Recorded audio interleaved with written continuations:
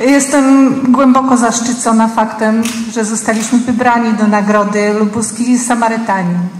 Jest to dla nas ogromne wyróżnienie i powód do dumy, a zarazem motywacja do dalszej naszej pracy, która jest naszą misją. Jesteśmy Stowarzyszeniem Katolickim, jedynym w Gorzowie, jedynym w województwie, przepraszam, bo mieścimy się w Strychach, która leczy młodzież uzależnioną od narkotyków. Młodzież często bardzo pogubiona, często odepchnięta od społeczeństwa. Nasza praca jest naszą misją, która pomaga tym dzieciakom odnaleźć piękne, zdrowe życie.